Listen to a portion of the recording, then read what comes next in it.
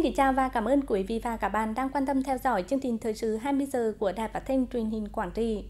Hôm nay thứ ba ngày 24 tháng 7, chương trình có những thông tin đáng chú ý sau đây. Các đồng chí lãnh đạo tỉnh ủy, Hội đồng nhân dân, Ủy ban nhân dân, Ủy ban Mặt trận Tổ quốc Việt Nam tỉnh dâng hương tri ân các anh hùng liệt sĩ. Hội đàm cấp cao giữa hai tỉnh Quảng Trị và Salavan lễ bàn giao kỷ vật của cán bộ DB và khai mạc triển lãm kỷ vật DB Quảng Trị ngày trở về. Thưa quý vị và các bạn, nhân kỷ niệm 71 năm ngày thương binh liệt sĩ, chiều nay đoàn đại biểu tỉnh ủy, Hội đồng nhân dân, Ủy ban nhân dân, Ủy ban Mặt trận Tổ quốc Việt Nam tỉnh, các sở ban ngành đoàn thể và lực lượng vũ trang tỉnh Quảng Trị do đồng chí Phạm Đức Châu, Phó Bí thư Thường trực tỉnh ủy làm trưởng đoàn đã tổ chức trang trọng lễ viếng các anh hùng liệt sĩ tại Nghĩa trang lịch sử quốc gia Trường Sơn, Nghĩa trang lịch sử quốc gia Đường Chính và thành cổ Quảng Trị. Tham dự lễ viếng có đồng chí Nguyễn Đức Chính, Phó Bí thư tỉnh ủy, Chủ tịch Ủy ban nhân dân tỉnh cùng các đồng chí trong ban thường vụ tỉnh ủy, thường trực Hội đồng nhân dân, Ủy ban nhân dân, Ủy ban Mặt trận Tổ quốc Việt Nam tỉnh.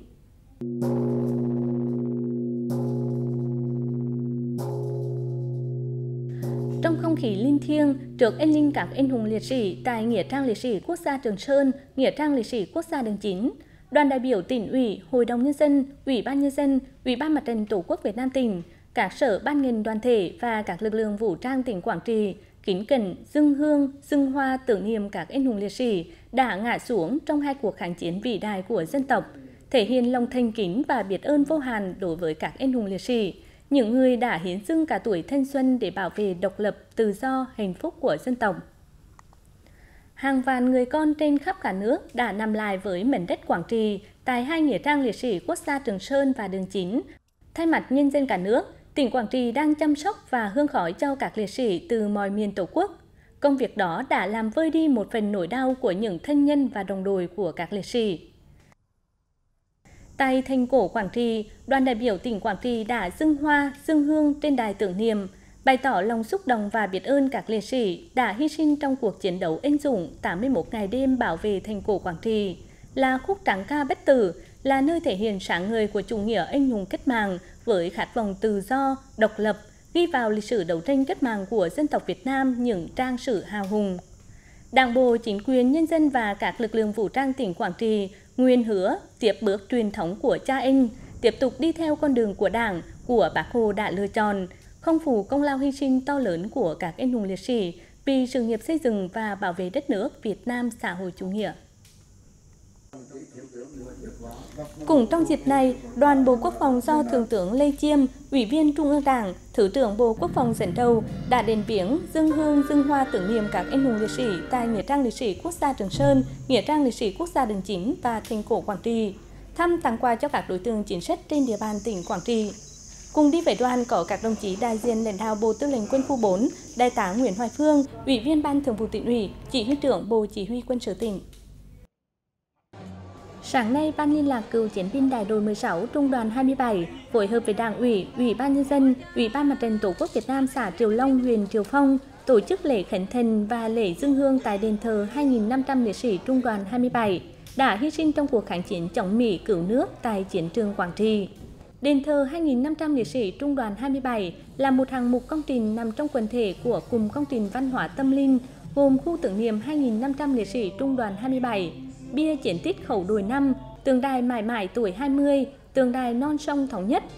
Đây là địa chỉ đỏ để giáo dục truyền thống yêu nước, thể hiện lòng tự hào dân tộc và là hoạt động thiết thực để tri ân các anh hùng liệt sĩ đã hy sinh vì độc lập tự do của Tổ quốc. Chiều qua tại thành cổ Quảng Trị, Ủy ban nhân dân tỉnh Quảng Trị phối hợp với Cục Văn thư và Lưu trữ Nhà nước, Bộ Nội vụ tổ chức lễ bàn giao kỷ vật của cán bộ DB và khai mạc triển lãm kỷ vật bê, Quảng Trị ngày trở về. Đến dự có đồng chí Phạm Đức Châu, Phó Bí thư Thường trực tỉnh ủy, đồng chí Mai Thức, Ủy viên Ban Thường vụ tỉnh ủy, Phó Chủ tịch Thường trực Ủy ban nhân dân tỉnh.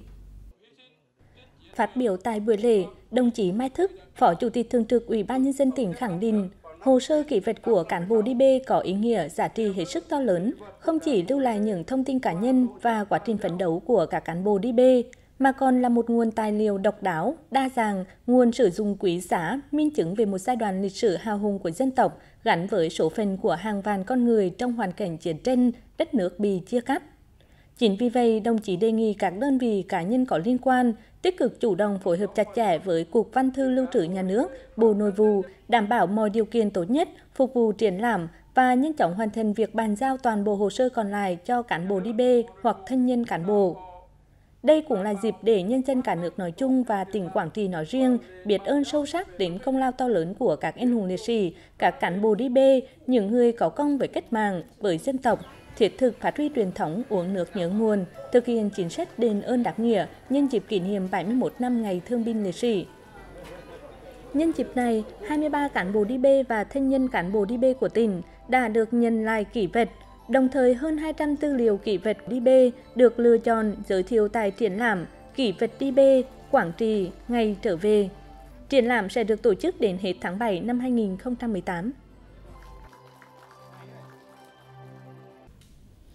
Chiều nay, đồng chí Nguyễn Đức Dũng, Ủy viên Ban Thường vụ tỉnh ủy, Phó Chủ tịch Thường trực Hội đồng Nhân dân tỉnh, đồng chí Nguyễn Văn Hùng, Ủy viên Ban Thường vụ tỉnh ủy, trưởng Ban Tổ chức tỉnh ủy, đã đến thăm tặng quà cho các gia đình chính sách người hoạt động kháng chiến bị nhiễm chất độc hóa học trên địa bàn huyện Đắk Rông và Hương Hóa. Thay mặt lãnh đạo tỉnh, đồng chí Nguyễn Đức Dũng và đồng chí Nguyễn Văn Hùng đã thăm hỏi tình hình sức khỏe, đời sống và trao quà của lãnh đạo tỉnh đến các đối tượng chính sách, bệnh binh, người hoạt động kháng chiến bị nhiễm chất độc hóa học. Đảng, Nhà nước và nhân dân luôn ghi nhớ sự hy sinh, cống hiến to lớn của các thương bệnh binh, người có công và cách mạng vì sự nghiệp đấu tranh giải phóng dân tộc, thống nhất tổ quốc, vì hạnh phúc của nhân dân. Với đạo lý uống nước nhớ nguồn của dân tộc, trong những ngày này, lãnh đạo các huyện Vĩnh Linh, Hải Lăng, Đắk Cờ Rông đã tổ chức nhiều hoạt động thăm hỏi, tặng quà, động viên các gia đình chính sách trên địa bàn huyện. Chương trình thời sự xin được tiếp tục với những thông tin khác. Sáng nay, tỉnh Quảng Trị và tỉnh Salavan nước Cộng hòa Dân chủ Nhân dân Lào đã tổ chức hội đàm cấp cao đánh giá giữa kỳ kết quả thực hiện thỏa thuận hợp tác giữa hai tỉnh giai đoạn 2017-2019. Tham dự buổi hội đàm về phía tỉnh Salavan, nước Cộng hòa Dân chủ Nhân dân Lào, có đồng chí Sĩ Su Văn Vong Trong Sĩ, Ủy viên Ban chấp hành Trung ương Đảng Nhân dân Cách mạng Lào, Bí thư tỉnh trưởng tỉnh Salavan cùng các đồng chí đại biểu đoàn cấp cao tỉnh Salavan. Về phía tỉnh Quảng Trị có đồng chí Phạm Đức Châu, Phó Bí thư Thường trực tỉnh ủy, đồng chí Nguyễn Đức Chính, Phó Bí thư tỉnh ủy, Chủ tịch Ủy ban nhân dân tỉnh, đồng chí Nguyễn Văn Hùng, Ủy viên Ban Thường vụ tỉnh ủy, trưởng ban tổ chức tỉnh ủy, Đại tá Trần Đức Việt, Ủy viên Ban Thường vụ tỉnh ủy, Giám đốc Công an tỉnh Quảng Trị, đồng chí Hà Sĩ Đồng, Phó Chủ tịch Ủy ban nhân dân tỉnh. Phát biểu chào mừng tại buổi hội đàm, đồng chí Phạm Đức Châu, Phó Bí thư Thường trực tỉnh ủy Quảng Trị nhấn mạnh,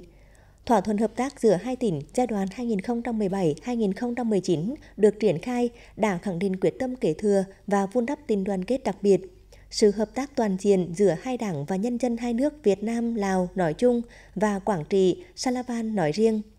Lãnh đạo tỉnh Quảng Trị tin tưởng rằng kết quả hội đàm lần này sẽ góp phần thúc đẩy hơn nữa quan hệ hợp tác giữa hai tỉnh Quảng Trị và Salavan, đồng thời đưa quan hệ hai nước sang một giai đoạn phát triển mới. Tại buổi hội đàm, đại biểu cấp cao giữa hai tỉnh Quảng Trị và Salavan đã đánh giá, thảo luận về những kết quả đạt được sau gần 2 năm thực hiện các nội dung đã ký kết trong văn bản thỏa thuận hợp tác giữa hai tỉnh. Trong đó, lĩnh vực chính trị, quốc phòng an ninh được đánh giá là có nhiều hoạt động thiết thực và hiệu quả. Hai bên đã triển khai nhiều chương trình phối hợp, trao đổi kinh nghiệm trong công tác hội đồng nhân dân, Bên cạnh đó, Bộ Chỉ huy Bộ đội Biên phòng tỉnh Quảng Trị và Bộ Chỉ huy Quân sự tỉnh Salavan cũng đã phối hợp chặt chẽ trong đấu tranh phòng chống tội phạm vùng biên giới, thắt chặt mối quan hệ giữa nhân dân hai tỉnh thông qua việc duy trì và phát huy hiệu quả mô hình kết nghĩa bản bản. Hợp tác trong lĩnh vực khoa học công nghệ, giáo dục và đào tạo nguồn nhân lực đã có nhiều chuyển biến tích cực.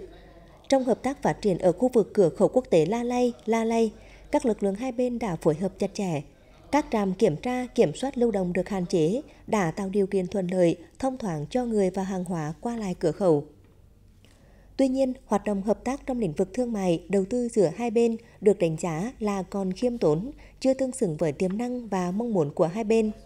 Hoạt động thương mại biên giới giữa hai tỉnh chủ yếu vẫn là mua bán, trao đổi qua các cặp cửa khẩu nhỏ lẻ, giản đơn. Nhiều đại biểu tham dự hội đàm cho rằng vẫn còn nhiều dư địa trong quan hệ hợp tác giữa hai tỉnh cần được quan tâm, đặc biệt là trong lĩnh vực thương mại, du lịch, dịch vụ, đầu tư, nông nghiệp.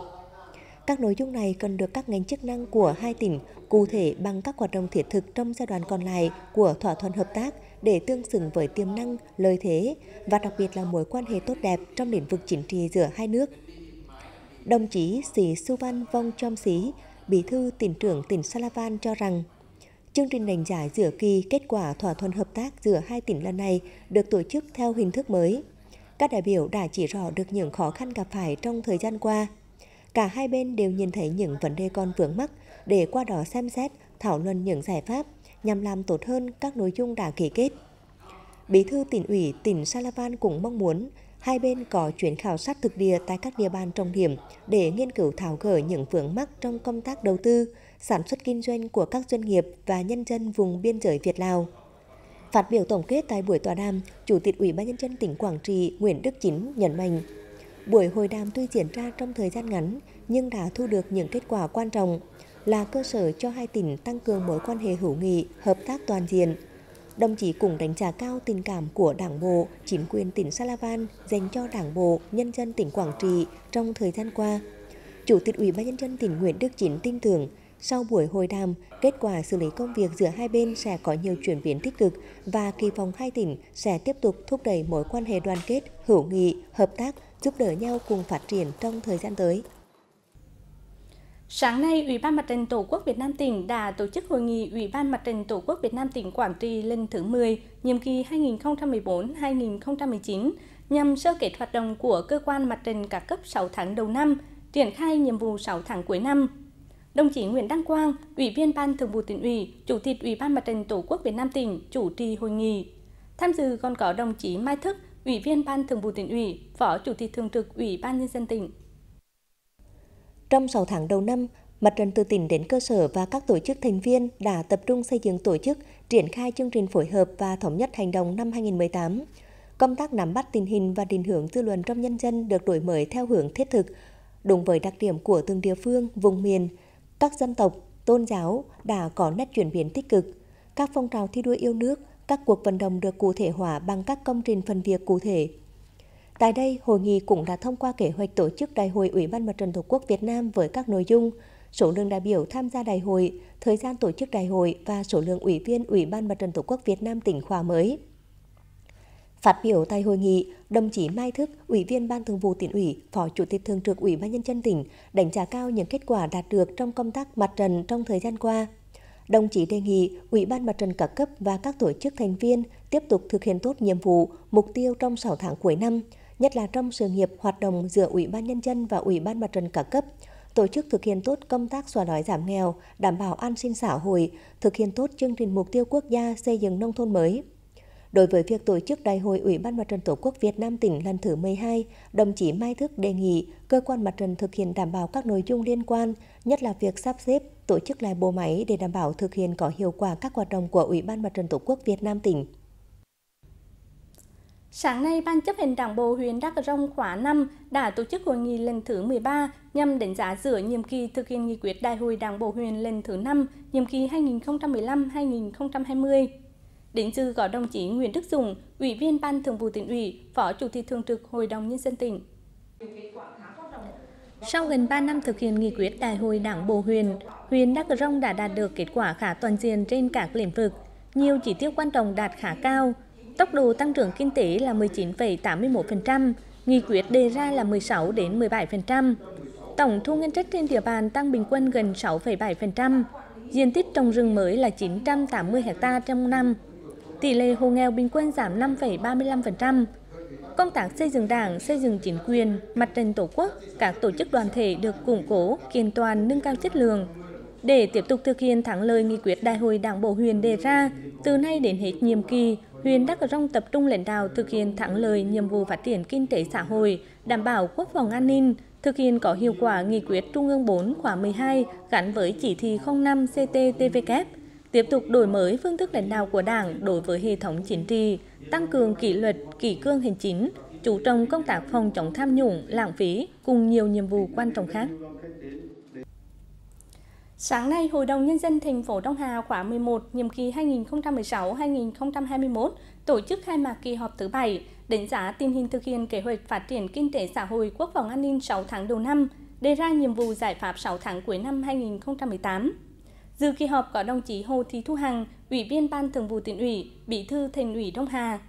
Cũng trong hai ngày vừa qua, huyện Triều Phong đã tổ chức kỳ họp thứ bảy Hội đồng Nhân dân huyện khóa 5, nhiệm kỳ 2016-2021 để thông qua các báo cáo tình hình kinh tế xã hội quốc phòng an ninh 6 tháng đầu năm, triển khai nhiệm vụ chủ yếu 6 tháng cuối năm 2018 và một số nội dung quan trọng khác. Trong 6 tháng đầu năm 2018, kinh tế xã hội của thành phố Đông Hà đạt kết quả tích cực khá cao trên các lĩnh vực. Để đạt mức tăng trưởng kinh tế như kế hoạch đề ra, các ban ngành đoàn thể, các tầng lớp nhân dân và cộng đồng doanh nghiệp trên địa bàn nỗ lực quyết tâm cao, thực hiện đồng bộ và có hiệu quả các nhiệm vụ, giải pháp đã đề ra. Trong đó, trọng tâm là ra soát các nhiệm vụ, đầu việc lớn, các cam kết của người đứng đầu cấp ủy, thủ trưởng các cơ quan, đơn vị với Ban Thường vụ Thành ủy về thực hiện nhiệm vụ năm 2018.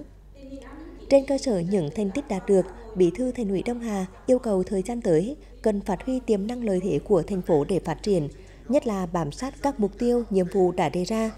tập trung cải thiện môi trường đầu tư kinh doanh, thực hiện có hiệu quả các kết luận chuyên đề của Thành ủy, tăng cường công tác thu ngân sách, đẩy nhanh tiến độ xây dựng các công trình cơ bản, không để bị cắt vốn đầu tư và một số nội dung quan trọng khác. Tại kỳ họp thứ bảy Hội đồng Nhân dân huyện Triệu Phong, các đại biểu đã tập trung thảo luận, chất vấn tại hội trường những vấn đề bức xúc của cuộc sống. Hội đồng Nhân dân huyện cũng đã thẳng thắn phân tích, chỉ rõ những hạn chế cần tập trung lãnh đạo khắc phục triệt để trong thời gian tới. 6 tháng cuối năm, huyện Triệu Phong đã đưa ra 17 nhóm nhiệm vụ giải pháp chủ yếu nhằm quyết tâm thực hiện thắng lợi kế hoạch chỉ tiêu đề ra của cả năm 2018. Trên cơ sở xem xét các tờ trình, báo cáo của Ủy ban Nhân dân huyện và các cơ quan liên quan, Hội đồng Nhân dân huyện đã thống nhất thông qua 4 dự thảo nghị quyết quan trọng, gồm nghị quyết về nhiệm vụ phát triển kinh tế xã hội, đảm bảo quốc phòng an ninh 6 tháng cuối năm 2018, nghị quyết về thông qua danh mục dự án đầu tư năm 2019, nghị quyết về phê chuẩn quyết toán ngân sách nhà nước năm 2017 và nghị quyết về phê chuẩn chương trình giám sát của Hội đồng Nhân dân huyện năm 2019. Sáng nay, huyện Cam Lô đã tổ chức tổng kết công tác phòng chống thiên tai tìm kiếm cứu nạn năm 2017, đồng thời triển khai nhiệm vụ năm 2018. Năm 2018, trên địa bàn huyện Cam Lô bị ảnh hưởng trực tiếp của ba cơn bão và áp thấp nhiệt đới. Ước thiệt hại do thiên tai gây ra trong năm 2017 hơn 100 tỷ đồng, không có thiệt hại về người. Theo dự báo trong năm 2018, tình hình thời tiết tiếp tục diễn biến phức tạp, vì vậy, Ban Chỉ huy phòng chống lụt bão và tìm kiếm cứu nạn huyện Cam Lộ chỉ đạo các địa phương đơn vị chủ động trong công tác phòng chống lụt bão, giảm nhẹ thiên tai trên cơ sở phát huy tốt và hiệu quả phương châm bốn tại chỗ. Có kế hoạch cụ thể trong việc di dời dân, nhất là đối với các vùng thấp trũng ven sông Hiếu, đảm bảo vấn đề lương thực thực phẩm trong trường hợp mưa lũ dài ngày. Chủ động kiểm tra gia cố các công trình giao thông thủy lợi, hồ đập để đảm bảo an toàn trong mùa mưa lũ. Sau khi có lụt bão xảy ra, phải nhanh chóng kiểm tra, triển khai khắc phục hậu quả nhằm sớm ổn định tình hình đời sống, sản xuất của nhân dân. Tỉnh Quảng Trị với nhiều lợi thế trong sản xuất nông lâm thủy sản, với nhiều sản phẩm chủ lực mang lại hiệu quả kinh tế, thuận lợi trong giao thương, xuất khẩu hàng hóa. Song thực tế vẫn gặp không ít khó khăn trong vấn đề kết nối cung cầu cho sản phẩm nông lâm thủy sản, đòi hỏi có những giải pháp đột phá hơn. Nhân hội nghị kết nối cung cầu tiêu thụ sản phẩm nông lâm thủy sản Quảng Trị sẽ diễn ra vào ngày mai, Mời quý vị và các bạn cùng theo dõi phóng sự sau. Hợp tác xã sản xuất cà phê hữu cơ sinh thái trên mây Bắc Hương Hóa sau khi thành lập, các thành viên đã cùng với ban giám đốc hợp tác xã khảo sát và củng cố tình hình phát triển của vườn cà phê nguyên liệu để đảm bảo chất lượng cà phê ngày càng được cải thiện và định hướng theo sản phẩm hữu cơ. Vấn đề liên kết đầu ra cho sản phẩm cũng chính là nội dung mà hợp tác xã quan tâm. À, việc uh, xây dựng thương hiệu uh, kết nối với thị trường rất có ý nghĩa rất lớn à, trong việc à, nâng cao à, giá trị được cái sản phẩm cà phê, tăng được thu nhập cho người sản xuất. Bên cạnh đó thì cũng dần dần từng bước xây dựng được cái thương hiệu cà phê cho Quảng Trị. Khó khăn hiện nay đó chính là phần lớn hàng nông lâm sản được xuất khẩu dưới dạng thô hoặc sơ chế, chất lượng thấp. Bên cạnh đó, ngay tại địa phương, hàng nông lâm sản cũng bị cạnh tranh gay gắt bởi sản phẩm cùng loài của các nước trong khu vực.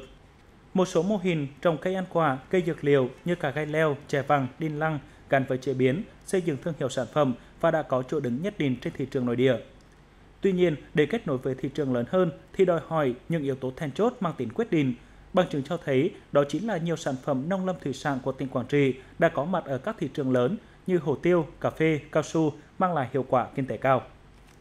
Trong quá trình à, hoạt động thì chúng tôi cũng à, tiếp xúc với nhiều đối tác và nhìn chung là cái mong muốn của họ là trước hết là phải đạt chất lượng. Đó, về chất lượng sản phẩm là yếu ờ, yếu tố số 1 và tiếp theo đó là cái à, sản lượng người ta yêu cầu phải đủ đơn hàng cho người ta. Và yếu tố thứ ba nữa đó là cái đáp ứng dịch vụ. Đấy phải luôn luôn vì bao bì mẫu mã rồi là điều kiện giao hàng thời gian uh, giao hàng vân vân. Yếu tố thứ tư mới là giá. Mà đương nhiên nếu như mình làm tốt ba cái yếu tố trên thì yếu tố thứ tư đương nhiên chúng ta sẽ được giá cao. Theo báo cáo 6 tháng đầu năm 2018, tổng sản phẩm trong tỉnh GRDP ước tính đạt 8.712,74 tỷ đồng, tăng 6,56% so với cùng kỳ năm 2017. Trong đó, khu vực nông, lâm nghiệp và thủy sản ước tính 1.853,03 tỷ đồng, tăng 3,31%, đồng góp 0,73 điểm phần trăm. Thì để nâng cao cái à, hiệu quả của công tác kết nối cung cầu thì à, các ngành hữu quan như là ngành công thương, rồi ngành à, nông nghiệp phát triển nông thôn, rồi khoa công nghệ cũng là tiếp tục để nghiên cứu lựa chọn cho được những cái ngân hàng, những cái sản phẩm mà trong đó có các mặt hàng nông lâm thủy sản của tỉnh có cái thế mạnh để tham mưu ủy ban tỉnh có cái chiến lược để đầu tư từ cái việc phát triển cái vùng nguyên liệu cho để chọn giống rồi cái quy trình nuôi trồng và chăm sóc theo hướng hữu cơ chế biến sạch và đầu tư cái xây dựng thương hiệu à, từ đó thì có nhiều hơn các cái sản phẩm có cái tính cạnh tranh à, của tỉnh trên địa bàn à, trong thị trường trong ngoài nước. Xác định được tiềm năng thế mạnh trên lĩnh vực nông lâm thủy sản, nhìn thấy được những khó khăn trong quá trình tìm đầu ra và tìm giải pháp trọng tâm trong vấn đề liên kết sẽ là hướng đi để nâng cao giá trị kinh tế, nâng cao thu nhập cho người dân.